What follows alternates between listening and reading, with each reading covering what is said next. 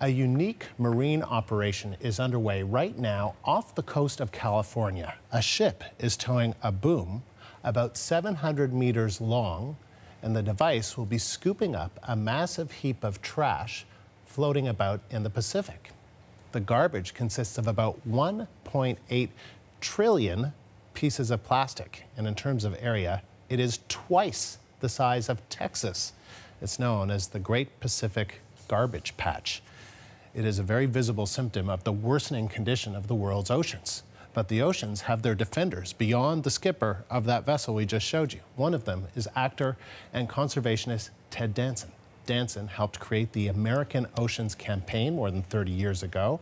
It's known today as Oceana Canada, and Ted Danson is with me all. So, Ted, nice to see you. Nice to see you too. I wish them luck. That's a that's a huge problem. That is a huge. So yeah. tell me about that. I mean, that, it's Well, I mean, I, it's I we're just learning, uh, not learning. We're just tackling this problem at Oceana as well. Yeah. And this is great. I mean, it's good to clean up. It truly is. But the message should not be this is something we can clean up because a lot of it, you should do what they're doing. I don't mean Right. to say that. But you need to stop producing the plastic at source. You got to stop using uh, one single use plastic. The, the industry has to get behind this uh, on a global level because it's impossible to clean up all of it. And what happens is it breaks down into smaller and smaller pieces. And so it's being ingested by the bottom of the food chain, which is a really bad thing. and tell me why that is. Tell me why Because if you so start bad. wiping out the ba- bottom of the food chain, the, the thing that eats that little thing that's getting destroyed by that little piece of plastic, you know, can't be eaten. But you know, you just have a serious impact that goes all the way up to you and me. But the Tell good me- news tell me about is the there are a lot of good things that are happening Yep. to our oceans, especially for our oceans, especially here in Canada. You guys in the last three years have uh, committed to putting $200 million in the next five years into science, hiring scientists, uh, being transparent about what's going on with the fisheries. Because if you take care of the world's fisheries, you are actually feeding the world because you could double the amount of fish in the ocean that you could catch and eat if you do all the right things. And Canada is starting to do that, from my opinion. And go online to oceana.ca and discover what's happening here in your country because a lot of good things are happening. So you wrote a book on what we can do to save our oceans. I co wrote a book. You co-wrote a book. Yes, yes. You had some help. The actor did not step up and go, "Here's how you save the ocean." I've been, I've been, I'm, I'm the guy who says, "Thank you very much for watching Cheers." Uh, I'm standing next to this incredible marine biologist. Let me, let me, you know, let him or her talk to you about what's going on. So I'm clear that my job is to, you know, be the, you know, person in front of the tent. The people inside of the tent at Oceana are astoundingly bright. They're scientists and lawyers, and people have been working for years. So It's you know, interesting to hear you be so candid about how you're you're very happy to say, yeah, I'll use my celebrity for this cause that's important to me. Yeah, it is. Why not? I've been doing it for 30 years, and it's Yeah. uh, it's a great conversation. I mean, you have the opportunity. If you say you're talking about fish, people will go to sleep in you know two seconds. But if you talk about feeding the world and using you know fish, which is a clean protein, you're not using groundwater to make that protein. Mm-hmm. You're not cutting down a rainforest. So, if the oceans are harvested correctly, and do, you do all the right things, which you are starting to do here in Canada. You know, you're starting to rebuild your fish stocks. Uh, you're starting to, there's a fishery act coming up that is really important to get behind because you, that, you will commit in that fisheries act to rebuilding stocks.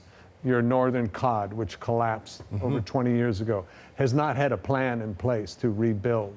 So it's all very exciting, all the stuff that's starting to happen. So get behind it and uh, you know, You sound like more than just uh, the guy from Cheers who's standing next to the marine biologist. You certainly are I've listened to the marine biologist, so I, I've collected a, a bit here and there. Why is it so important, and why are you so passionate about this? Because it's a, it's a disaster that we can avoid. Um, because if you do the right thing, if you don't use those huge ships that destroy the bottom of the ocean, dragging those huge nets, and you let smaller fishermen Trawlers? follow, yes, the huge bottom trawlers, You dig up and you bring up everything at the bottom. You throw away a third of it dead or dying, so you're being wasteful. You use very few personnel on that boat as opposed to lots of different smaller boats that know how to do it correctly and have been for years.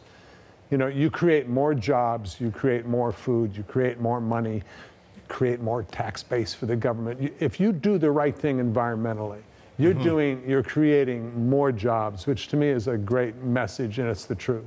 You are you're, you're talking a lot about Canada and how you see good things happening. Because I'm a little in this- depressed in my own country, all right? Well, I was going to. well, no, and I was going to ask you a little bit about that because you're talking Yeah. about you know proper environmental stewardship. yeah. What what are you seeing We're- in your country? We're in a kind of deregulation phase in our country where we think it's good for business to take away all regulations. I'm sure it helps a little bit, but in the long run, you're, you're doing, if you're not taking care of the natural resource that you're making your money from, then you're a bad businessman. So I think it's a phase and we'll get through it. Then just finally, is was there something? Did you have that moment 30 years ago, or did you have that moment many years ago? You know, because celebrities like yourself, they they pick causes. You have to pick. And you w- did this pick you, or did you pick kind it? of i kind it- of you know there are a lot of things working my father was an archaeologist he was a scientist i had that kind of sense even though i was off playing and not paying a lot of attention that we're stewards you know of our time that we're on this planet Mm-hmm. so leave things in better shape than when you got them kind of philosophy um, i was walking on a beach with my kids when i was shooting cheers and there was a sign don't go swimming water polluted i couldn't answer why it Mm-hmm. looked gorgeous what could be the problem? You know, you can get a piece of fish anywhere. What's the problem? And when I started to dig deeper and deeper, I realized, um, and I started an organization with a friend of mine who was an environmental lawyer. So I've, I've learned more and more and more. But it's a great conversation, you know. It is. Feed the, save the oceans, feed the world. Ted, Can't beat that. Sorry. appreciate you. Appreciate you coming in. It was good Thanks. to speak Thanks to you. Thanks for letting me babble at you. Actor and conservationist Ted Danson of Oceana, Canada, with me here in studio.